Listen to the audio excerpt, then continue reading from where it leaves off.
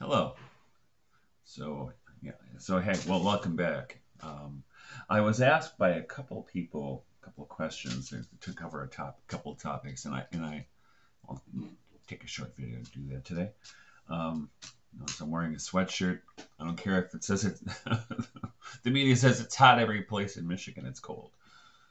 Uh, so it's a little chilly this morning, so I have to layer up. But anyway, so Jose asked uh, what my thoughts about the Christian Community for Religious Renewal, which is uh, kind of a church movement that arose out of Anthroposophy when some Lutheran pastors went to Rudolf Steiner in the 1920s and said, "What can you do for us? You know, we need we need a renewal in in Christianity and in, in the practice of religion." And so he came up with some suggestions for them. Uh, and you would think that a guy who spent years as a Waldorf teacher and a lot of my friends ran at the hospice. Just back, actually bumped into one. My old colleagues yesterday were, when I say old colleagues, because we're old, but I love her to death. I was so happy to see her, but I hadn't, I hadn't seen her for a few years. Um, but anyway, uh, quite a few of my friends participate in the Christian community. Uh, the godmother of one of my, my sons does. Uh, but I've never been to a uh, service. Never been to a service at the Christian community for whatever reason. I mean, I'd like to, but just never came up. You know, never had the opportunity. I was doing other stuff. I was going to church. And but I did, I, and this is uh, important. So when I was a Waldorf teacher, uh, the house next door to the school was was owned by the school and was rented out to a Christian community priest and his family. And when my wife was pregnant with our first son, the teachers had a a baby shower for us, and they did it at that house and the, the the man who was the priest there, his name was Hartmut Junge. I, I swear he was one of the, I mean, truly one of the holiest people I've ever met. But such a good man. Uh, I have nothing but great things to say about him. And I actually, uh, if you know anything about the history of Waldorf education, you know the first school in Stuttgart, they had uh, what they were called free religion lessons and nobody ever does them. So, so I talked the, the faculty into doing an experiment with having a once a week like a free religion lesson, and it was aimed at younger children. Uh, you know, it's like first or second grade, and Reverend Junge taught the class. It was just beautiful. My my old second oldest son was in the class, but it was not very many kids attended, so I think they discontinued. I was I was happy that they were able to but no, no kidding. He was very holy man. Uh, in fact, at that baby shower, he gave my wife this beautiful card, and she, kept it. And he wrote in it the first stanza to Thomas Traherne's poem "Wonder." If you know it, it's the one. It's, it's probably the most anthologized poem. It starts off, uh, "How like an angel came I down. How bright are all things here." When first among his works I did appear. Uh, and she kept that as, as a treasure for, uh, for, for, all these years. Um, but my one experience in the Christian Community Church was a beautiful one. A friend of ours, her name was Janet McGavin, and she was so I was 29 or 30 and she had to be in her 80s and she died not long after I met her a couple of years. And they held the body in wake at the Christian Community Church which is not which is not too far from where I lived. And uh, at that time I used to uh, carpool with my friend Bart to school and he said let's let's go to the church early and see Janet so we did, and the beautiful thing that they were doing was uh, it's like a vigil, right, where people were were re- reading in order, you know, from from from uh, beginning to end, the Gospel of Saint John over the body, and, and actually to, to the spirit of, the, of, of of Janet, and it was a beautiful, beautiful practice. I mean, I'd never seen anything like that, and uh, so even when my both my parents died, I, I read them the Gospel of Saint John. Um. So yeah, so that's my experience with the Christian community. I'm sorry, there's not much more to it. Uh, but let's get to house church. Now, I wrote not too. I mean, I've written quite a bit about house church in my Substack. If you don't, it's the Druid Stares Back, and uh, it was not something I ever wanted to do or planned on doing, but I felt compelled by necessity to do it. Uh, and this happened well i think not when i think about it i think it, it, took stages. I think the first stage toward that was was it 2018 when the mccarrick scandal broke that cardinal mccarrick had been grooming seminarians for sex. I and it was just horrible to hear that i mean just made me want to throw up and at that time when it broke my book transfiguration and the subtitle of which is uh, The Radical Catholic Reimagination of Everything, was in production. So it was getting close to being done, but I'm not kidding. I was I was going to call my publisher and say, "Let's let me change the subtitle because I don't want to I don't want to have Catholic in the title. I'm ashamed of being Catholic at this point, you know, you know, because I got to the point where this is just never going to change. It's never going to change. This this corruption, this sexual um, deviancy. You know, in this. Uh, so anyway, I don't want to. I don't want to sexy man just to think about it. Sorry. Uh, so anyway, I think that was the seed of it, but it's still. I was. We were still. You know, regular att- Byzantine Catholic Church attending people. I was practically a deacon. In fact, um, I wasn't. I was never ordained a subdeacon or anything, but when the the priest would introduce me to to the congregations, he would, you know, it's like at a funeral or something. This is he would call me the deacon, and uh, because I would do, you know, just about everything a deacon does. I would not like a deacon would, but I was I was doing a lot, uh, including uh, distributing holy the Holy Eucharist. Um, because our priest was really frail and old and he could barely stand and he needed help and that, that's why I we, we continued going there long after we should have because we moved. But he was so sick and I could not leave him. So and so anyway so but the, the Cardinal McCarrick scandal happened and you know, I started to have serious concerns. Um, but then uh, when COVID happened you know in the, in the various shutdowns that you know I had to think of what to do. You know, because first of all, uh, that, so it came down in March of 2020, and then Easter, of course, was the next month. I think it was. I think it was in April, and Easter was canceled across the board, across all denominations. Uh, churches were closed, and which was tragic. I mean, tra- Easter is the, f- feast of feasts, and it's always been my favorite holiday of the church year. Um, so yeah, so that so that that I found that disturbing. But then, you know, I also at the time my two youngest kids are now 12 and 14, so they at the time they were was it 9 and 11 must have been 9 11.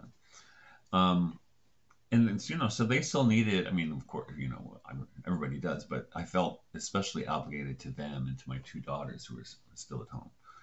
Um, who were a little older, high school kids, that they all, they needed some kind of regular spiritual formation. I mean, other than just, you know, the kind of stuff we do at home. So at first we started to do um, just uh, the noonday service from the the Book of Common Prayer. Um, reason for many reasons. One reason is it's pretty simple. Secondly, Uh, I think I love the language of the Book of Common Prayer, just like I love the language of Shakespeare and the King James Bible. And, and plus, having a doctorate in early modern English literature and in, in, the metaphysical poets in particular. I, you know, I tell I was friends of mine who were Episcopal or Anglican priests. I tell them I'm kind of like 47% Anglican because of that, you know. So there's a lot of that in my, in my my soul so we would do that and but then christmas was canceled you know the getting to be a bit much. And then and then east i can't remember if the second year that easter was canceled or there were restrictions on it. I can't remember how that went but i was at that point i was like this is crazy. I can't keep doing this. And i told my wife well we're just going to do house church. We'll do the eucharist. And, and i don't care. You know, which is hard for me to do. I mean, it was not an easy thing for me to do, uh, but I did, but we did it. And uh, at first, I did it kind of on the slide because um, my son, which one was it? Probably Daniel, was in third grade that year, and part of the third grade curriculum in Waldorf school, which is what we follow in our homeschool, uh, I like uh, curriculum the third grade is the Old Testament stories, and of course, you know, central to that is the story of the Passover. So we, we did a seder, and just like Jesus and the apostles did a seder at the, at the Last Supper, right? And I told my wife, I he said, it's not going to just going to get you know a, seder anymore today, and so that was our first uh, foray into the Eucharist, which I'm, I'm, sure will outrage a lot of people who, who see this. But you know, what are you going to do? I just don't care anymore. Uh, and so we started to do more and more house church, and, and so what we do, I mean, we don't. It's not very fancy. It's. I mean, I certainly don't consider myself a priest. Um, but what, we do, we take. Uh, songs, often from the Anglican hymnal, because they're all singable tunes and they're actually very close to folk music. And if you, in fact, if you know, I've, I've shared on my Substack and other places, my blog, uh, there's a group from Utah called the Lower Lights, and they do a beautiful version of uh, All Creatures of Our God and King, which is a very, it's like a folk music version. And I love stuff like that and plus, you know, my wife and I both play, you know, kind of a folk, folksy guitar, and everybody sings in my family. My kids are musical, so we started doing some of those songs. We do uh, that. We do uh, Jerusalem, the hymn by Hubert Parry, with uh, the lyrics of William Blake. We also do "Morning Is Broken" with uh, Cat Stevens version with lyrics, but and it's in it's in the Anglican hymnal. I'm just going to tell you, uh, with lyrics by the immortal Eleanor Farjeon, whom I love to death, and I wrote a chapter on her in my book, uh, Sophia in Exile, because she's just underappreciated as a poet and writer. I mean, she's kind of just she she gets to sit at the kids table because she she wrote what are ostensibly children's books. Uh, so serious scholars don't take her seriously, but I do, and especially if you read her poetry, oh my goodness, it's so beautiful. Especially uh, the book Trees. I think if you want to check her out, that would be a good one, good place to go. So what we do is we have those songs, and let's see here. We, we have we, we do some we do start with a song. We do part of the we start with part of the the, the noonday service from the Book of Common Prayer, We just to start us off. And sometimes we'll do the Psalms and, and we'll chant the Psalms or read the Psalms, you know, verse by verse. We'll, I'll read one, everybody else will read one. You know what I mean?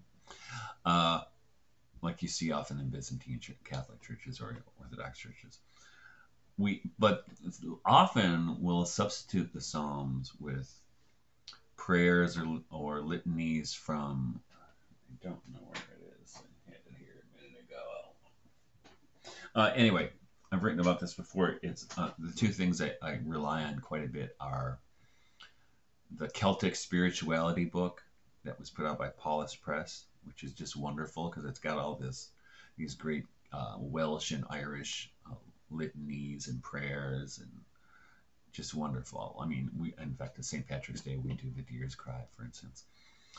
Um, got a lot of great stuff, but also that you know, kind of famous collection that was put together the late 1800s, early 1900s, uh, the Carmina Gadelica, that was uh, collected by uh, Alexander Carmichael. Uh, that's got a lot of it's got a lot of stuff that has nothing to do with well, it's only marginally to do with with religion. You know, a lot has his chant, uh, charms and spells. My, my favorite is the charm of the of the, of the churn, but it's got but it's but it draws on folk traditions from mostly Scotland, and the prayers are likewise beautiful in there. So we'll, we'll throw some of those in there. And what what and and now this is the thing with with with house church we we try to cultivate in our house church uh, practice a Sophianic sensibility. So what and that's what's great about the Celtic stuff in, is it often they'll, they'll mention uh, you know the elements the planets the, you know the trees the rivers all you know the animals. So all these things were brought into it and it, oh it's it's so gorgeous. Okay. Don't know where the book is I would read you but do not know where the book went to? It was here. It was here a little while ago.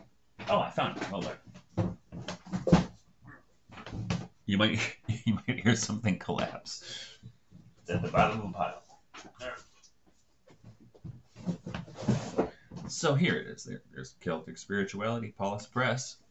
Uh, what's, what's the, I can't remember the uh, editor's name. It's Oliver Davies, of course, who did it, with the help of Thomas Laughlin. So let me just read you one of my one of the things we would do. In like here, here's the litany of creation. It's a, Welsh, a Welsh devotional text. I beseech you by the tenth order on the compact earth. I beseech praiseworthy Michael to help me against demons. Together with Michael, I beseech you by land and by sea unceasingly. I beseech you respectfully by every quality of God the Father. I beseech you, O Lord, by the suffering of your body, white with fasting. I beseech you by the contemplative life. I beseech you by the active life. I beseech the people of heaven with Michael for my soul. I beseech the saints of the world to help me on earth. I beseech the people of heaven with bright armed Michael. I beseech you by the triad of wind, sun, and moon. I beseech you by water and the cruel air. I beseech you by fire. I beseech you by earth. I beseech you by the threesome of the vaulted fiery and fiery zone. I beseech you by the two temperate zones. I beseech you by the two frozen zones. I beseech you by the compass of the harmonious firmament. I beseech every order dignified in its divisions, the host of the bright stars. And it, and it goes on. I won't read the whole thing. It's long. Um, so that's what we try to cultivate in our house church. Um, because, in, you know, from a sophiological perspective, the idea is, you know, that that falsehood that the earth is not our real home is is no place there. I was disappointed to see recently um, a post by somebody I respect on on uh, Twitter or X that um, it was on the feast of the Assumption of Mary that you know we celebrate her going home here, and I, and I have some serious problems with that. She was already home, right? Um, in fact, if you read the Book of Revelation, it, there was a new new heaven and new earth so it's the redemption of this earth is more is is what's important, and I think when Christians uh, try, you know, try to try to say this isn't our real home, I think that's the the source of all kinds of problems. All kinds of problems. It's it's the the pure nature. It's the pure nature uh, version of our relationship to the earth which which is horrid and it's heresy as far as I'm concerned. But anyway, going back to house church, so we do that.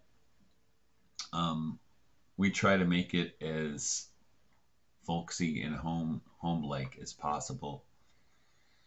Um, we do the Eucharist, and uh, so this year actually. So I planted a few years ago. I planted some wine grapes, and this year I probably have enough to make a little bit of wine. Probably make a couple of gallons, maybe if I'm lucky, get two gallons. And we'll, we'll I'll make that into wine, and we'll use that only for church. We won't won't be for recreational use at all. That's what I make mead for. But so yeah, so we'll do that, and we try to, you know, mark the festivals as much as we can. Um, St. Bridget's Day, for instance, we we have a little I wouldn't even call it an altar. It's a little table with a with a cross, the Celtic cross, and what else is it on there? It's a deer's horn. It has a, an icon of the Virgin, and it's probably got some other stuff on there. And so, so this is part of this is a part of our our own aesthetic approach to this, and and I would su- say suggest. I'm, I'm sure, however, people do home church. Um, you know, it it's got to be organic, right, and come out of the, the, the people celebrating. And it's interesting. So when I started doing this, and people, some of my friends got wind of it, and of course, most of my friends are, you know, I should, you know, most of my friends on social media, I should say, are either, you know, church-going Orthodox or Catholics or Anglicans, Episcopalians, and a friend of mine who's a, an Episcopalian seminarian. Actually, he was Catholic, but he left the church because of the McCarrick thing, and he liked McCarrick, but he was felt so betrayed. He he texted me after I, he saw that what I was doing. He said, "So you're part of the independent sacramental movement?" I'm like, um, "I don't know what's that. I have no idea what it was. I didn't know it was a movement." And people have reached out to me. In fact, just recently, uh, somebody read my my uh, Substack when I was talking. It's uh, the one I called alt Christianity. That and he reached out and shared some resources with me because apparently he's doing uh, house church, which is encouraging. And I've heard from other people as well who are doing their own thing. And my wife has heard from people. And now, now here's the thing though. Um, I mean, this is the, the, the challenge, right? It's the challenge in any worship setting. How do you make it new. And I don't mean just do new stuff for the sake of doing new stuff. How do you behold, I make th- all things new? Because we know you can get into habit and you just be, you know, just doing the thing, just like people go to church, you know, you're just going through the motions. And and and sometimes my mom, my wife in particular, we know she likes doing house church, but she misses seeing people like you would at, at, a, at a, normal church, right? Yeah. And so, and we do like to have people join us. We don't have people join us as much as we'd like, but but we do have people join us upon occasion because it's nice, you know, to celebrate with people, to be where where two or two or more are gathered in my name. There is Christ in the midst of them, right? Um, so it's nice, and and it's interesting. Um, probably in the back of our minds, my wife Bonnie and myself when we are doing this was uh, the community at Little Gidding. If you're familiar with it, Nicholas Ferrar, who was the literary executor of George Herbert, the metaphysical poet, and Nicholas Ferrar was a deacon in the Anglican Church in the 17th century. And he had this, in fact, you can still visit it, this little church where he and his family, and I, not just his immediate family, but I think some siblings, his brother, a couple other, his sister, had this beautiful little community, and was, and in fact, they were uh, ridiculed and dismissed in a pamphlet as the Arminian nunnery, right? Because at the time, it's it smacked too much of papist behavior. It was like we, we thought we got rid of monasteries with the, with the Reformation, but no, Nicholas Ferrar went back into it, and he would and it was a nice community. But they had, I think it was his brother's wife, who was kind of a problem child, and she was a nonconformist, and she didn't like what was going on, but she had to put up with it, right? So yeah, there's there's always that, I suppose, that you're with you're doing things in a human community, and people are gonna people are gonna human. You know what I'm saying? when when you're human, just do some human. So, but it's but in general though, I mean, it's it's been a, a pleasant experience. I mean, uh, a lot falls on me, I guess. And you know, I got to, you know, especially I'm trying. You know, the the, the challenge for me is getting more songs because I don't want to just sing the same. I think we have. Well, it changes over you know, when you get to Easter and Christmas. There are some other songs we can bring in. Like one of my favorites at Easter, for instance, is uh, "Now the Green Blade Riseth." One of my favorites. And then in the Christmas, one of my favorites is "In the Bleak Winter." The beautiful song uh, which is from the lyrics of uh, Christina Rossetti. So yeah, it's, so I, I, mean, it's, all it's all good, but you know, I always want to get more songs, and I'm always trying to find some more. But that I just recently read. Now, think we all are God is one I learned. There's actually I can't remember her name. There's a nice uh, there's a woman who does a lot of folk music renditions of kind of those traditional hymns. You can find on YouTube. It's they're wonderful. Um, so that's what we do, and we did it first out of duress. I mean, and then even when the churches opened up again, and here's the thing: I just didn't feel I could go back because I felt, um, in my tradition, the Catholic tradition, I felt that the Pope and the bishops had all been complicit in in crimes, in, in you know in you know when Pope Francis said it was an act of love to get the vaccination, you know, that was untested. And, you know, so it's kind of, I just felt that was unconscionable. And, and I, not that and other things, and, and the McCarrick thing, just can't go back.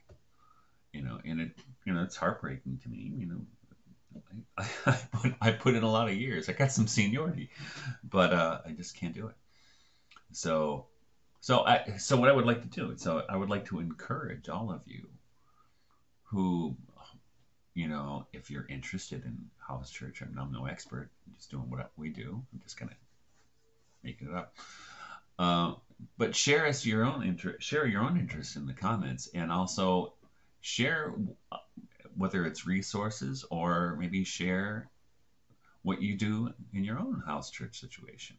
So I, I'm interested in it. In fact, I was thinking about. I don't know if I'll have time to do it this fall, but I was thinking about doing like a house house church conference here at my farm. And, and let me know if you're interested in that too, because I would like to do it. I don't think I'll do it this fall, maybe in the spring. Uh, because I just I want to know what people are doing. You know, it's like I'm technically out here in the wilderness. We live in, in the middle of the wilderness, pretty much. Um, but it's I'm also there spiritually, right? In fact, yeah, being out in the wilderness is my, kind of one of my patron saints is John the Baptist.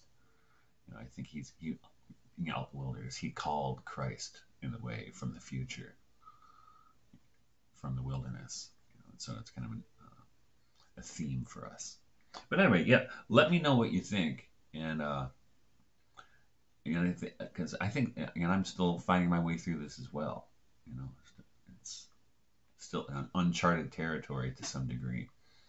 But I but I certainly have found it very spiritually nourishing to do this. I mean, I, and I also felt you know it was there was there was a healing to it because of um, various various things um, you know that happen in our church experience over the years, and you know, especially when politics. I don't mean Democrat versus Republican politics, but just you know, you, you really see the, the nastiness of ecclesiality, you know, and it's not pleasant, and it's not it's not just a problem of Catholic churches, right? It's every place. So anyway, just to make to make a short story long, let me know what you think, and we'll continue this. And if you have other other suggestions for topics, please, as I said before, you know, feel free to drop them. And somebody wanted to me to wondered if I could do something on Lorca as far as poetry goes, and I I like Lorca, and I but I don't think I know Lorca as well as I could to do that. But but there are some of the other topics I will be taking up, like reincarnation. I think we'll do that one. I also want to get to Robert Herrick. We keep talking about that, and some other poets to talk about. So so let me know what you think. Let, let me know what you're interested in, and God bless, and we'll see you next time. Take care.